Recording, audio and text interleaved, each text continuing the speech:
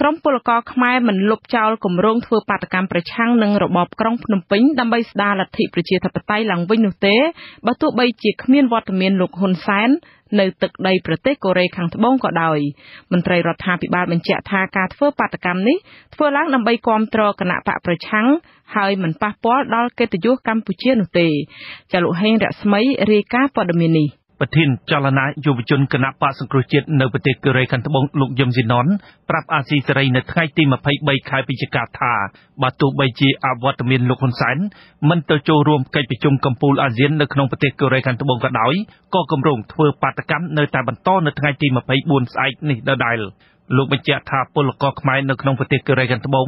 និងពលករខ្មែរមួយចំនួនមកពីសហរដ្ឋអាមេរិកបានត្រៀមខ្លួនរួចហើយដើម្បីដឹកនាំធ្វើមហាបាតកម្មទ្រង់ទ្រាយធំ នៅក្នុងទីក្រុងពូសាន់ទល់មុខសាលាក្រុងពូសាន់ដោយរំពឹងថានឹងមានមនុស្សចូលរួមជាច្រើនរាប់ពាន់នាក់លោកបញ្ជាក់ថាការធ្វើបាតកម្មនេះដើម្បីទាមទារឲ្យពិភពលោកចាប់អារម្មណ៍ក្នុងការស្ដារប្រជាធិបតេយ្យនៅក្នុងប្រទេសកម្ពុជាឡើងវិញក្រោយពីរបបលហ៊ុនសែនបានរុញច្រានការរំលោភសិទ្ធិមនុស្សនិងលទ្ធិប្រជាធិបតេយ្យបានធ្លាក់ចុះដុនដាបយ៉ាងខ្លាំង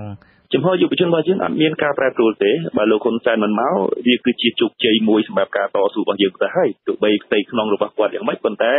ក្នុងរូបភាពជាបញ្ហាការទូតគឺយើងបានជោគជ័យទៅលើការទៀមទារបស់យើងហើយនៅក្នុងចំហ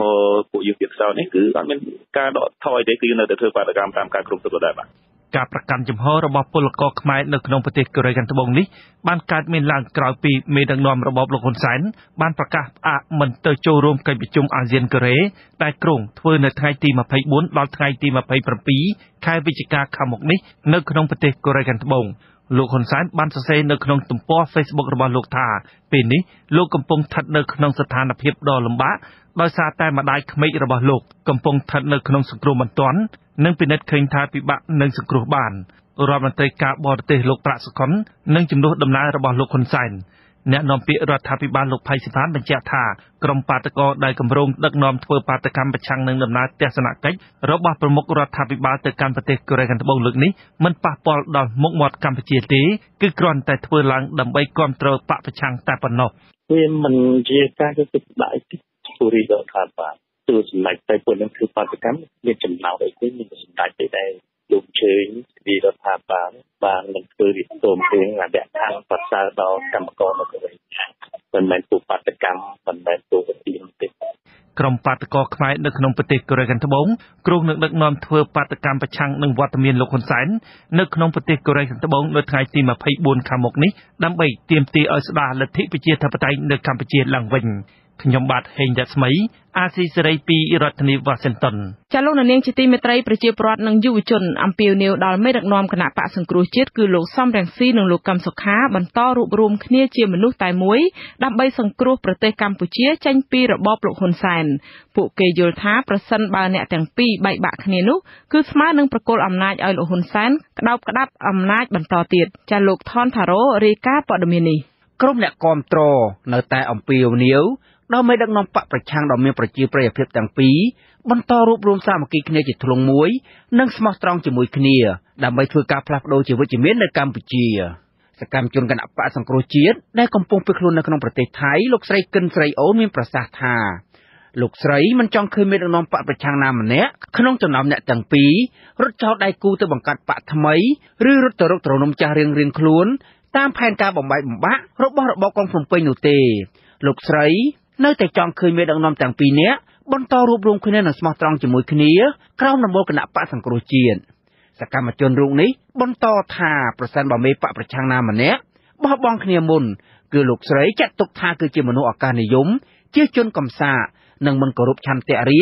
និងមិនមែនជាអ្នកប្រឆាំងដើម្បីប្រជាធិបតេយ្យពិតប្រាកដឡើយ។ ទស្សនៈរបស់ខ្ញុំក៏ដូចជាសកម្មជនទូទៅគឺពួកគាត់មិនចង់ឲ្យលោកប្រធានកឹមសុខានិងសំរងស៊ីបែកពីគ្នាទេគាត់ចង់ឲ្យរួមរស់គ្នាប៉ុន្តែបើលោកប្រធានកឹមសុខាគាត់ចង់ទៅបង្កើតបកថ្មីទៀតដោយមានស្នើពីរដ្ឋាភិបាលអីខ្ញុំមិនដឹងតែក្នុងរបស់គាត់តែគាត់ជាប់ឃុំឃាំងនៅផ្ទះនឹងគាត់តាក់ទងគ្នាយ៉ាងម៉េចខ្ញុំមិនដឹងទេប៉ុន្តែបើសិនតែគាត់មានគោលចំហនឹងចង់បែកពីសង្គ្រោះជាតិទៅបង្កើតបកថ្មីគឺគាត់បរាជ័យហើយអស់ប្រយោជន៍ភាពហើយពួកខ្ញុំក៏លែងគ្រប់គ្រងហើយពួកខ្ញុំនឹងត្រៀមនឹងវាយប្រហារគាត់ដោយដែលពួកខ្ញុំវាយប្រហារទៅយុរដ្ឋមន្ត្រីហ៊ុនសែនអញ្ចឹង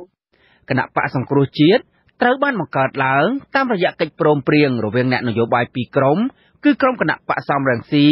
ដឹកនាំដោយលោកសំរងស៊ីនិងក្រុមគណៈបកសិទ្ធិមនុស្សដឹកនាំដោយលោកកឹមសុខា កាលពីខែតុលាឆ្នាំ2012និស្សិតផ្នែកទំនាក់ទំនងអន្តរជាតិលោកច័ន្ទសាញ់លើកឡើងថាមកទល់ពេលនេះលោកមិនមើលឃើញសម្ព័ន្ធភាពរវាងលោកសំរងស៊ីនិងលោកកឹមសុខា ដើរដោះផ្លូវណានោះទេប៉ុន្តែលោកគ្រាន់តែសង្ឃឹមថា អ្នកនយោបាយនិយមប្រជាធិបតេយ្យទាំងពីរភាគីនៅតែស្មោះត្រង់ជាមួយគ្នា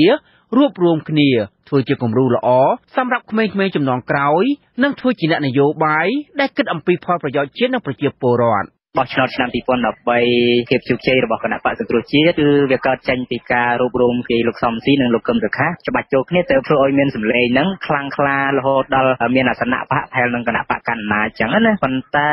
បើសិនជាមនុស្សពីរនាក់ហ្នឹងត្រូវបែកគ្នាមានន័យថាពិបាកក្នុងការប្រកួតប្រជែងជាមួយនឹងគណៈបកកណ្ណាអញ្ចឹងណាក្នុងប្រទេសប្រជាធិបតេយ្យគណៈបកប្រឆាំងនៅក្នុងពិភពលោកវាត្រូវការទៀមទាកម្លាំងកម្លាំងសាមគ្គីហ្នឹងគឺធំកាលណាបើអត់មានកម្លាំងសាមគ្គីហ្នឹងវាអត់អាចប្រកួតប្រជែងទៅនឹងអ្នកកាន់អំណាចព្រោះគេកាន់អំណាចគេមានទាំងអំណាចផងគេមានទាំងសេដ្ឋកិច្ចនៅក្នុងដៃរបស់គេផងអញ្ចឹងចង់មិនចង់អ្នកប្រឆាំងត្រូវតែរួបរวมគ្នាជារៀងការបែកបាក់គឺអត់អាចប្រកួតប្រជែងដើម្បីទាមទារលទ្ធិប្រជាធិបតេយ្យឬក៏ភាពជោគជ័យរបស់ខ្លួនបានយុវជននិស្សិតរូបនេះបន្តថាប្រសិនបើមេដឹកនាំនយោបាយណាម្នាក់ក្នុងចំណោមទាំងពីរភាគីប្រកាសមុនគេក្នុងការកាត់ផ្តាច់សម្ព័ន្ធភាពរត់ទៅរកត្រនំចាស់ឬបង្កើតបកថ្មី គឺគ្មានជោគវាសនាល្អក្នុងឆាកនយោបាយកម្ពុជាឡើយហើយទង្វើបែបនោះគឺជាការទទួលយកការសម្បទានដ៏តិចតួចបំផុតពីគណៈបកកណ្ដាលអំណាចនិងទទួលស្គាល់ភាពអយុត្តិធម៌កន្លងមកដែលខ្លួនឯងជាជនរងគ្រោះលោកស្នើសុំឲ្យលោកសំរងស៊ីរឹតបន្តឹងសម្ព័ន្ធភាពហើយធ្វើសកម្មភាពដូចសពថ្ងៃរងចាំមើលវិធានការអន្តរជាតិលើរដ្ឋាភិបាលវិញគឺជារឿងប្រសើរដោយឡែកសកម្មជនគណៈបកប្រឆាំងម្នាក់ទៀតគឺលោកករណពៅប្រាប់អាស៊ីសេរីថា លោកមិនទាន់ឃើញក្រុមលោកសំរងស៊ីឬក្រុមលោកកឹមសុខា បង្ហាញសញ្ញាដើរចេញពីក្រុមណាមួយនៅឡើយទេប៉ុន្តែលោកសង្កេតឃើញថារបបក្រុងភ្នំពេញកំពុងរៀបចំផែនការផ្សេងផ្សេងដើម្បីបំបីបំបាក់សម្ព័ន្ធភាពគណៈបកសង្គ្រោះជាតិលោកផ្ញើសារអំពីមនិតដល់ថ្នាក់ដឹកនាំគណៈបកសង្គ្រោះជាតិកុំឲ្យបែកបាក់គ្នាតាមផែនការរបស់លោកហ៊ុនសែនព្រោះការបែកបាក់គ្នានេះនឹងធ្វើឲ្យគណៈបកសង្គ្រោះជាតិមានវាសនាអាក្រក់ដោយគណៈបកហ្វុនស៊ិនពេជ្រ ខ្ញុំគិតថាប្រសិនបើគាត់ឈានដល់ដំណាក់កាលចុងក្រោយដែលគាត់ឈានទៅដល់បំបីខ្លួនចេញពីគណៈបកសង្គ្រោះទឹកគាត់ដែរនោះវាសនាគឺមិនល្អទេគឺយើងមើលដល់មកឃើញថាអ្នកណាដែលខ្មាត់ឆន្ទៈរីឬក៏ខ្មាត់ណាមួយមិនថាបុគ្គលណាទេឲ្យតែខ្មាត់ឆន្ទៈនេះគឺលទ្ធផលមិនល្អទេគឺចុងក្រោយគឺសូន្យយើងមើលប្រវត្តិដូចជាកុំព្រះជាដើមទៅធ្វើនេះគ្មានសល់ទេចុងក្រោយអាស៊ីសេរីមិនអាចសុំការឆ្លើយតបពីនាយខុតកាល័យរបស់លោកកឹមសុខា គឺលោកមុតចន្ទថា និងអនុប្រធានគណៈបកសង្គ្រោះជាតិអ្នកស្រីមុខសុហួរដែលស្និទ្ធជាមួយលោកសំរាសីបានទេដោយទូរស័ព្ទចូលពុំមានអ្នកទទួលទោះជាយ៉ាងណាក្តីមុខទល់ពេលនេះមេបកប្រឆាំងទាំងពីរមិនទាន់បានបង្ហាញចំហជាក់ស្ដែងបែបណានោះទេខណៈលោកសំរងស៊ីនៅតែប្រកាសជាញឹកញាប់ថាលោកនិងលោកកឹមសុខាគឺជាមនុស្សតែមួយដដែលអ្នកវិភាគនយោបាយលោកកឹមសុខមានប្រសាសន៍ថា លោកសំរងស៊ីនិងលោកកឹមសុខានៅតែយល់អំពីតម្លៃនៃការរួបរวมគ្នាហើយមេដឹកនាំទាំងពីរនាក់នេះយល់ច្បាស់ណាស់ថាប្រសិនបើបែកគ្នា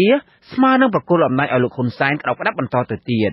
លោកមើលឃើញថាមួយរយៈនេះរបបក្រុងភ្នំពេញកំពុងប្រើល្បិចមួយចំនួនដើម្បីបំបែកសម្ព័ន្ធភាពរវាងលោកសំរងស៊ីនិងលោកកឹមសុខាដូចជាការបន្ធូរបន្ថយលក្ខខណ្ឌដល់លោកកឹមសុខាតែរដ្ឋបတ်លោកសំរងស៊ីមិនឲ្យចូលប្រទេស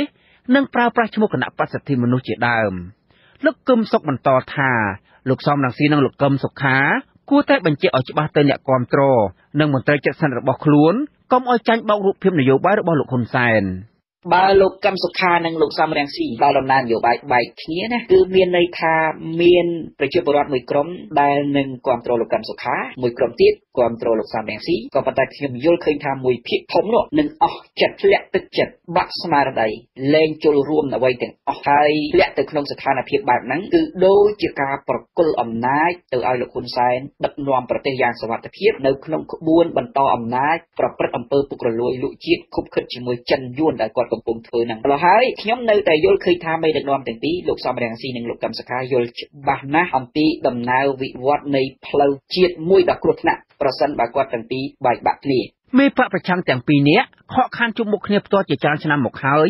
ដោយលោកសំរងស៊ីត្រូវបង្ខំចិត្តរស់នៅនិរទេសខ្លួនកិច្ចពីការតាមចាប់ខ្លួនតាំងពីឆ្នាំ2015 ចំណែកលោកកឹមសុខាត្រូវបានរបបក្រុងភ្នំពេញចាប់ឃុំខ្លួនក្នុងពន្ធនាគារកាលពីចុងឆ្នាំ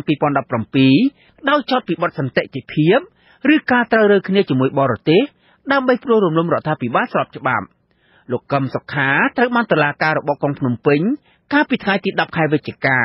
សម្រាប់បន្ធូរបន្ថយលក្ខខណ្ឌត្រួតពិនិត្យរបស់តុលាការដោយអនុញ្ញាតឲ្យលោកដើរហើរពេញក្នុងរង្វង់ព្រំដែនផ្ទៃប្រទេសប៉ុន្តែមិនមានសិទ្ធិធ្វើនយោបាយហើយត្រូវឆ្លើយតបសមត្ថកិច្ចគ្រប់ពេល ការបន្ធូរបន្ថយលក្ខខណ្ឌលោកលោកកឹមសុខានេះស្របពេលដែលលោកសំរងស៊ីប្រធានស្ដីទីគណៈបកសង្គ្រោះជាតិនិងសមាជិកបកផ្សេងៗទៀតដែលនិរទេសខ្លួនទៅក្រៅប្រទេសបានព្យាយាមត្រឡប់ចូលប្រទេសកម្ពុជាវិញនៅថ្ងៃទី9ខែវិច្ឆិកាប៉ុន្តែមិនបានសម្រេចតាមការគ្រោងទុកដោយសារតែលោកហ៊ុនសែនបានរារាំងមកទល់ពេលនេះមេដឹកនាំនយោបាយចាស់ភាសាទាំងពីរនៃគណៈបកសង្គ្រោះជាតិក៏មិនទាន់បានបង្ហាញព័ត៌មានអំពីការតំណាក់តំណងគ្នានៅឡើយទេ ហើយក៏មិនទាន់ឃើញសញ្ញានៃការបែកបាក់គ្នាជាក់ស្ដែងនៅឡើយដែរខ្ញុំថនថារ៉ូអាស៊ីសេរីពីរដ្ឋធានី Washington